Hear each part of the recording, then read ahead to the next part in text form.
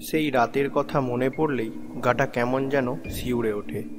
দেহে প্রাণ থাকতে আমি ওই রাতের কথা কোনো দিন ভুলব না। আর আমি কি? কোনো মানুষের পক্ষেই সেরকম রাত ভোলা সম্ভব নয়। ওই রাতে আমার বাবা মা কোনো এক অনুষ্ঠানে যাওয়ার জন্য আমাকে বাড়িতে একা রেখে চলে যায় এবং আমাদের পাশের বাড়ির আন্টিও সেই একই অনুষ্ঠানে যাওয়ার জন্য তার ছেলে কবিরকে আমাদের বাড়িতে রেখে যায়। কবির আমার খুব কাছের বন্ধু। আমরা দুজনে বাড়িতে একা থাকি। যেহেতু আমরা বাড়িতে একা ছিলাম, তাই আমরা নিজেদের মধ্যে একটু মস্তি করছিলাম। এই সময় লাইট অফ হয়ে গেল। আমরা কিছুক্ষণ সেই অন্ধকারে কাটালাম। তখন আমার বন্ধু বলল, এই চল না, একটু বাইরে ঘুরে আসি। আমরা দুজনেই বাড়িতে বসে বোর হচ্ছিলাম। তাই ওর প্রস্তাবে রাজি না হয়ে আর পারলাম না। আমরা বাইরে বেরিয়ে পড়লাম। বাইরে বেরিয়ে দেখি আশেপাশে কেউ নেই। রাত তখন প্রায় সাড়ে এগারোটা, তাই আমি আর ওই দিকে কোনো খেয়ালই করিনি। রাতের আকাশে পরিষ্কার তারা দেখা যাচ্ছিল। পরিবেশটা বেশ মনোরম লাগছিল। কি করে যে সময় কেটে যাচ্ছিল, আমরা দুজনের কেউই সেটা বুঝতে পারিনি। হাঁটতে হাঁটতে আমরা আমাদের এলাকার শ্মশানের কাছে চলে এলাম। হঠাৎ করে আমার বন্ধু আমাকে বলল, চল, আজ দেখা যাবে। আমাদের দুজনের মধ্যে কে বেশি সাহসী?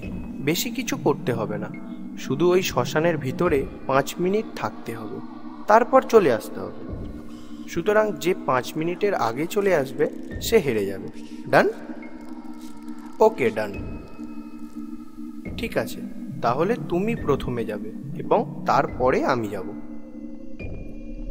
আমি ওর কথা শোনা মাত্রই রাজি হয়ে যাই এবং নিজের মনকে শক্ত করি।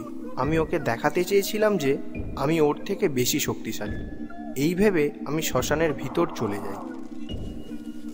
আমার কিন্তু ভীষণ ভয় করছিল, কিন্তু আমি কবিরের কাছে হেরে যাব এই কথা ভেবে কাঁপতে কাঁপতে সেখানে দাঁড়িয়ে রইলাম এবং কথা মতো পাঁচ মিনিট পর সেখান থেকে বেরিয়ে এলাম। শর্ত মতো এবার কবিরের ভেতরে যাবার পালা। কবিরও শ্মশানের মধ্যে চলে যায়। কিন্তু পাঁচ মিনিটের জায়গায় তিন মিনিটের ভেতর কবির ফেরত আসে এবং তার চেহারা দেখে আমি নিজেই ভয় পেয়ে গেছিলাম।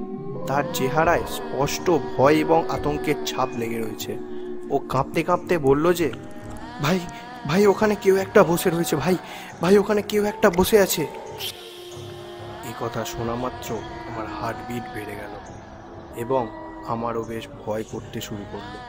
কারণ তখন রাত প্রায় সাড়ে বারোটা এখন একা একটা লোক শ্মশানের মধ্যে বসে কি করবে? তখন আমি কবিরকে বললাম যে, চল, আমি তোর সাথে গিয়ে দেখে আসি। কবির আমাকে ভেতরে যেতে বারণ করছিল বটে, কিন্তু আমি তাকে জোর করেই সেখানে নিয়ে যাই। ভিতরে গিয়ে আমি তো নিজের চোখকে প্রায় বিশ্বাসই করতে পারছিলাম না। দেখলাম সেখানে একজন এমনভাবে বসে আছে, মনে হচ্ছিল সে কোনো জীবিত ব্যক্তি নয়। আর লোকটি যখন আমাদেরকে দেখতে পেল, তখন সে যেন হাত নাড়িয়ে আমাদেরকে তার কাছে যাওয়ার জন্য ইশারা করছে। এইসব দেখে আমরা তো খুব ভয় পেয়ে দৌড়ে বাড়ির দিকে পালিয়ে আসি। তখনও আমাদের বাড়িতে আমার বাবা মা ফেরত আসেনি। তখন কবির আমাকে বলল, তুই তোর বাড়িতেই থাক, আমি আমার বাড়ি চলে যাচ্ছি, সকালে দেখা হবে। এই বলে কবির নিজের বাড়ির দিকে যেতে থাকল। এই ঘটনার কিছুক্ষণ পরই আমার বাবা মা সেই অনুষ্ঠান বাড়ি থেকে ফিরে এলেন এবং তাদের সেখানে সময় কীরকম কাটলো সে কথা বলতে লাগলেন।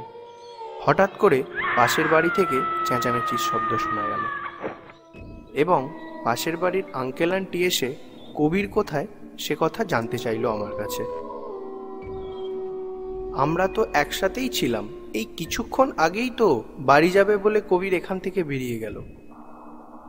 তখন আঙ্কেল আন্টি বলল, কই না তো, আমাদের ঘরে তো তালা দেওয়া। আরে, কবির তো বাড়ি যাবে বলেই এখান থেকে চলে গেল। তবে কি আবার কবির সেই শ্মশানে ফেরত গেছে নাকি? তখন আমি ভয় পেয়ে গিয়ে আমার বাবা মা ও আঙ্কেল আন্টিকে সব ঘটনা খুলে বলে দিই। আঙ্কেল আন্টি একথা শুনে তো খুব ঘাবড়ে যায়। তখন আমরা সবাই একসাথে সেই শ্মশানে যাই এবং সেখানে গিয়ে আমরা দেখি আমার বন্ধু কবিরের নিথর দেহটা সেখানে পড়ে আছে। এই ঘটনার পর আমি ভাবি, তাহলে আমার সাথে যে আমাদের বাড়ি গিয়েছিল শ্মশান থেকে, সে কে?